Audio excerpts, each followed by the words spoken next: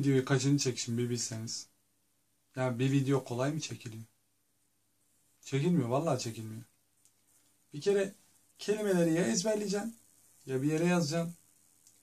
Yazarsan çok kitap bilgisi oluyor.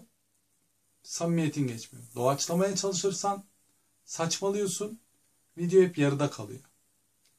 Allah'ım öyle mi desem, böyle mi desem, şöyle mi otursam, böyle mi baksam? Vallahi sıkıldım. Bu videoyu herhalde 150. çekişim. Ve bu daha sadece ilk video. Yani söyleyeceğim iki tane cümle var. Bu benim video blogumun ilk videosu.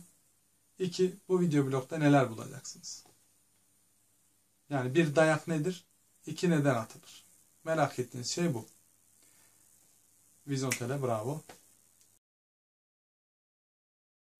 Yurt dışında örnekleri çok fazla. Yani artık ilkokul çağındaki çocuklar bile oturup bir video çekiyor ve ciddi ciddi bir şeyler anlatıyorlar. Yani size atıyorum Windows'un nasıl kullanıldığını bile oturup 5 yaşındaki çocuktan dinleyebiliyorsunuz. Ee, Türkiye'de de bir takım örnekleri var. Benim gördüğüm kadarıyla Türkiye'deki örnekleri çok parlak değil. Yani sağlam temelleri çok teknolojik temellere dayanmıyor. Bu video blogda neler bulacaksınız?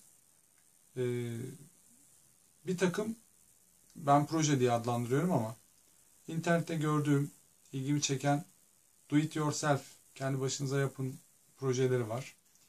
Bunlardan bahsediyor olacağım. Bunun dışında akıllı telefon, akıllı televizyon, Allah'ım ya Rabbim her şey akıllı bir biz gerizekalıyız. Bütün bu teknolojik cihazlardan kendi kullandığım, bildiğim, ilgilendiğim, araştırabildiğim kadarıyla şeylerden bahsediyor olacağım.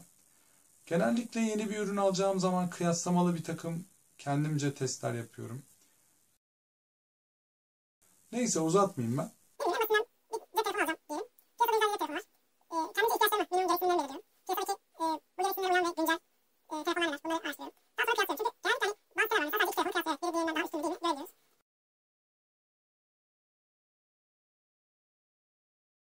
Yani Türk milleti olarak e, teknoloji aç bir milletiz. Yeni çıkan en son teknoloji neyse daima almayı seviyoruz. Yani en son, en iyisi neyse onu alıyoruz.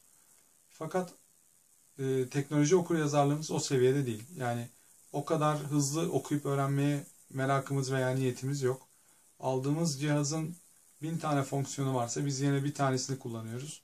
Kalan e, 999 fonksiyon e, atıl olarak bekliyor. Yani o parayı yatırdığınız şey aslında ölü yatırım olarak bekliyor.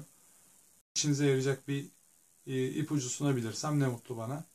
Ben bunları zaten kendim için yapıyor olacağım. Araştırıyor olacağım. E, sevdiğim şey de bu araştırmalar belli bir olgunluğa geldiği zaman e, insanlarla paylaşmak. Eğer takip edebilirseniz kanalımda bunları paylaşacağım ve e, inşallah güzel bir etkileşimde bulunuruz. Karşılıklı fikir alışverişinde bulunuruz. İzlediğiniz için teşekkür ederim. İyi akşamlar.